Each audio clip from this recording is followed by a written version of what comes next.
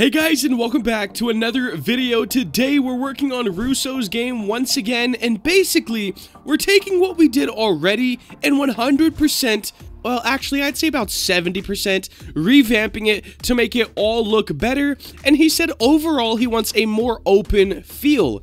Personally, I did like this layout. I just felt everything was very accessible, but he wants a more open and grand feel, especially the things he has pointed out is of course the openness of the map, so you're not just in the center of everything, and he wants the portals to be more grand. So, we're gonna start. He also wants the map to be bigger, and here we go, guys. I made the new spawn area. It's basically the same thing, just bigger on every side and a bit longer so it's not as square.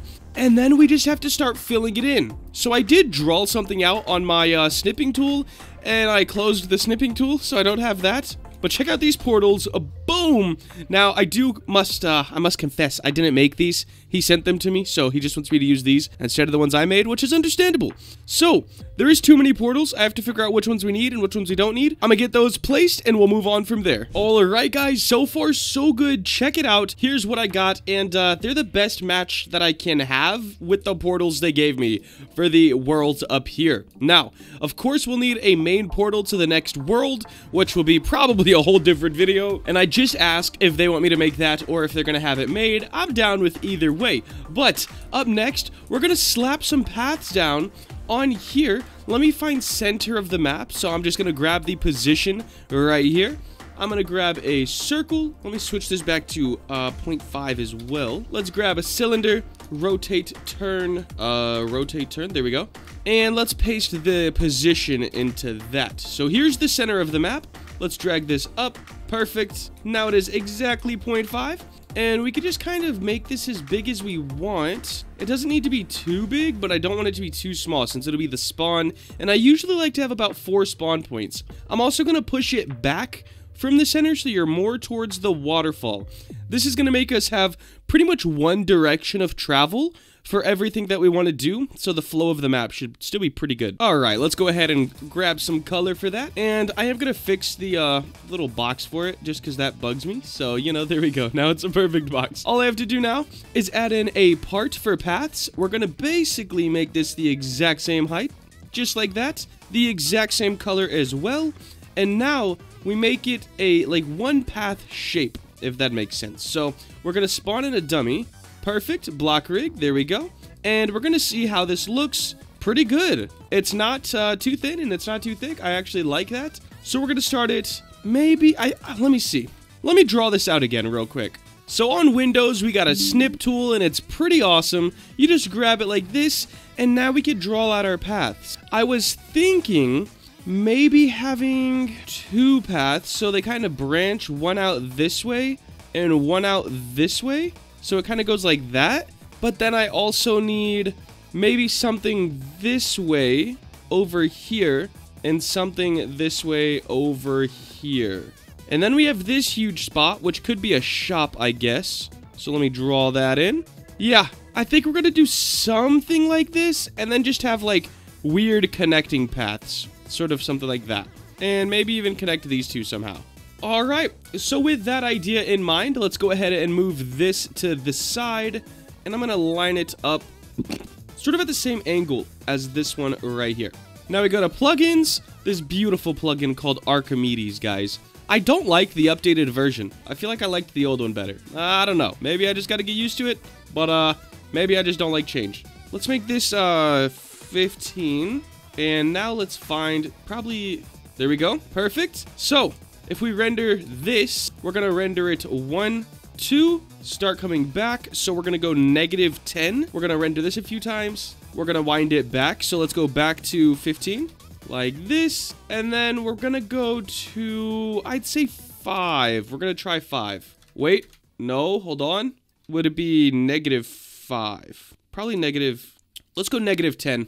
I feel like it's going to be negative 10. And we can wind it back to here maybe one, two, and then we're gonna go back to 15 to go into this. Just like that, guys. Now I'm gonna grab all these parts. Okay, hold on. Let's start with this first one here, and then scroll down to the last one. Still no? Oh, Okay, no need to fear. Power selectors are here. So I'm gonna just grab all of this like this. Perfect. And then deselect that, deselect our power selectors, and group. Now we have just the... Oh my gosh, dude, I'm, I'm really bad at the life thing right now. Let's get the base plate out of here, bro. And yes, I need to still organize the workspace. I I'll get it done, I promise. Now we have just our path. I'm gonna duplicate that, turn, turn, and then drag it over. So we have like kind of the same path on both sides. I think it looks pretty good. Let's move it out just a little bit more though to right here. There we go. And we're just going to rinse and repeat that process for different shapes of paths. All right, my dudes, the paths are done. Up next, we're going to use a beautiful plugin called Beveler. And I can just click it, and as you can see, it rounds out the edges of these. And it's not really needed, but I do think it gives a lot better of an aesthetic overall and makes it seem like a bit more effort was put in. Either way, great plugin. So we're going from this to this, guys. We're doing pretty good. I am going to start grabbing some of the assets like the potions, the upgrade shop, jumps and index, and eggs, and leaderboards. We have a lot of stuff over here that we need to grab and kind of transfer over. So let me grab these. I'll grab this little guy too. I guess why not? So let's copy all this, bring it over here, and uh, we're going to get everything placed the best we can and see what else we need to fill up after that. So I think last time I updated you guys, I was at the paths, but fear not, everything is pretty much copy and pasted over and then just redoing the layout. So, I made the paths, they requested having some water go through the map, which I did want to do previously, but I couldn't figure out how to work it in with the uh, old layout. So, scrap this whole map and move on to this one. I think it's looking really, really good. Let me grab our spawn pads. We have four. I'm just gonna kind of move those over so we spawn here instead. Oh yikes! Let me uh let me move these in.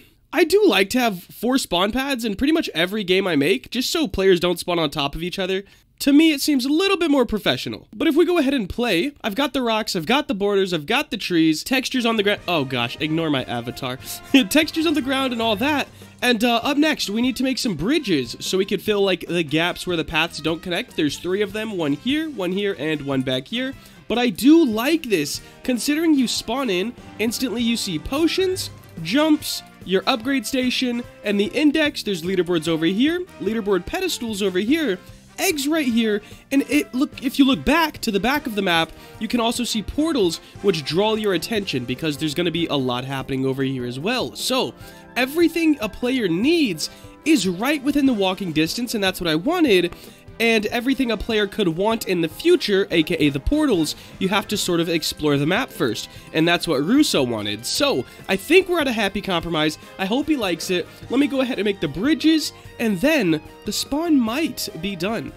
Alright guys, so I've been working on this, bridges are in, the portals got a full revamp, how we have those set up, there is a staircase up to each side now, as well as they're just a bit more separated. The team over there with Russo did want a clear, like, shot, so like right when you spawn in you could see the portals. Uh, I don't know where else to move the eggs, and the center of the map feels very open now and just kind of plain, so hopefully they, uh, they know what they want me to do for that. but once we get that done, I think the lobby will be done, and man, am I excited. This thing is turning out a lot better than the first one. We've got a waterfall that actually leads somewhere now. We have a cooler portal section as well as cooler portals, and uh, it's just coming out a lot better than the first version of this map. I'm super excited, and I think next time I check in with you guys, this lobby should be fully finished. Alright guys, a lot has changed. We hopped into a call to get the map finally settled out, and I think it is looking pretty cool. Leaderboards right here, leaderboard pets back here. We got some shops, cool, cool. Your jump shop, your index, and back here, your machines for golden rainbow. This one's a placeholder, but you know. It's looking pretty good overall. The spawn from this right here, which is, uh, you know, alright, it's okay to this. Just so much more going on. I really like it, guys. Hope you do too. That is going to wrap it up for today. If you did enjoy and want to see more content like this, please make sure to like, comment, and subscribe. Have a great day. Later.